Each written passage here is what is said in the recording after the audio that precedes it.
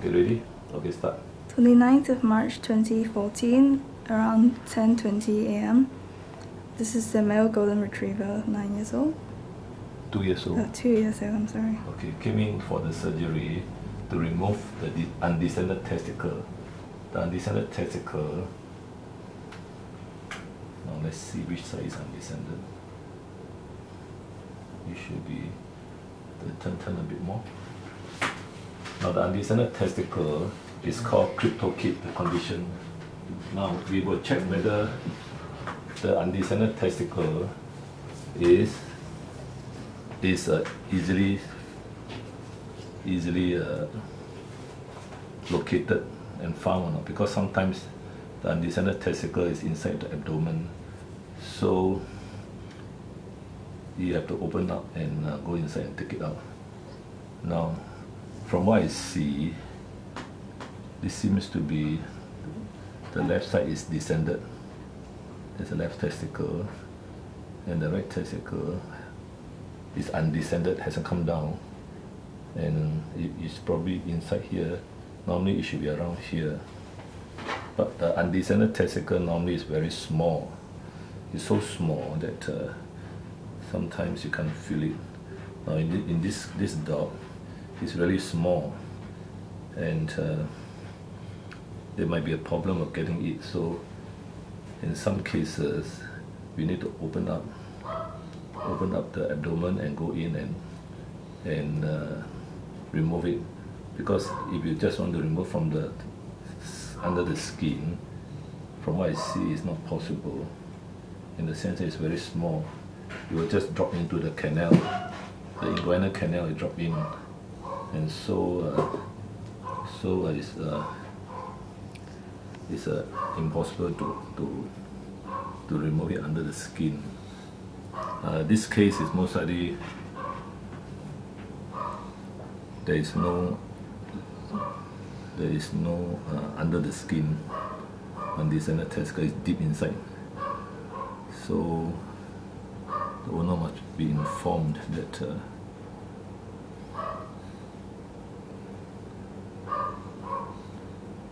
if you can't get it then you have to open up now it seems to be it could be here, but uh, it could be just uh, inguinal tissue or fatty tissues.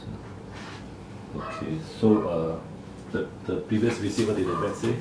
Uh, he said he said he said that uh the Daniel Sim. Uh, which side? Which Oh. side was undescended? He didn't mention. He said it was the right. I think. Okay, what we do, let the dog stand up and uh, Yeah. Up. let us stand up and then I can feel feel feel whether whether the testicles drop or not. You, you you have to feel here. Wait a minute, stand properly and then. Uh,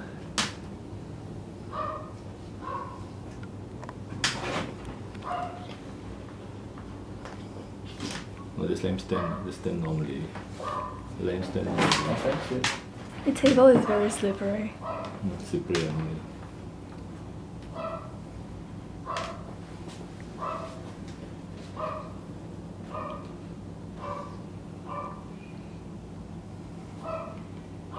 There might be a small one, but I don't think that is the undescended one.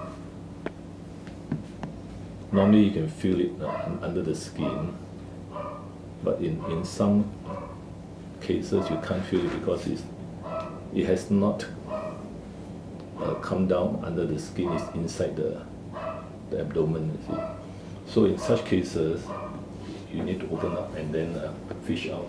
Otherwise what happens is uh, it's a waste of time trying to look for it under the skin in this case it can't be seen then uh, the question you want to ask me Ah yes. So so so in this case, I'm doing only a, uh, the undescended one yeah I only remove the retainer. So in the contralateral testis, is there increased risk of mag, uh, malignancy, cancer? the normal descended Yeah. one normal descended one unlikely to get testicular uh, tumor Okay. but uh, unlikely doesn't mean it doesn't Yeah, happen it does happen So what So surveillance? Is it's there any like surveillance? Any, any surveillance I can do? Yeah, what you do, you check it every week or so. Okay. The size, Okay. the firmness, Okay. or if, if, the, if it still remains the same size as now, Okay. then uh, it's not cancerous. uh. Okay.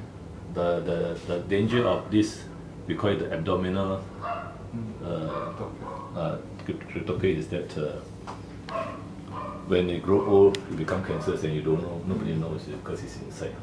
And uh, after that, it rots, and so the dog dies. Uh, but uh, that time is already too late.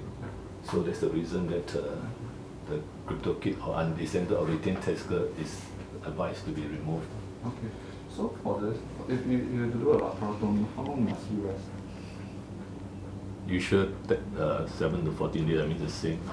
Because he runs quite regularly, so how long can you return to? 14 days. Uh. 14 days. ah. But it's not very thin, you know, for some reason. He runs around 20 k. he's it's underfed, I think. Oh, is it? underfed. Uh. Okay. Uh, how much he eats? Two times a day, uh, around like 400 grams of feed, and then chicken and corn and carrot. I think he's un- underfed for Okay. some reason. He's only 26 kg. Uh. Oh, okay. Normally, normally you can feel the spine. Uh. Come show you. Uh. I'll keep showing there. You can feel the spine and it's thin. Uh. Has the blood test been done Right. before surgery? No, no pre-op. Huh? No pre-op. No. There was no blood test done for this.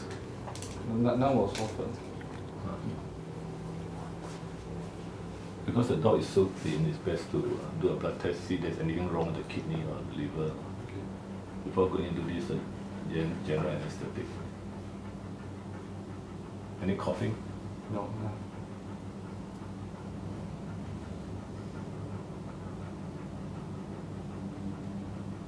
Appetite is good.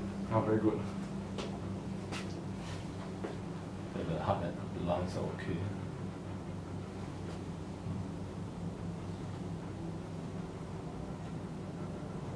No vomiting, no diarrhea. No, none. But basically, normally in uh, those uh, normal dogs, uh, Mm. we, normally of course advise blood tests for screening the health before anesthesia.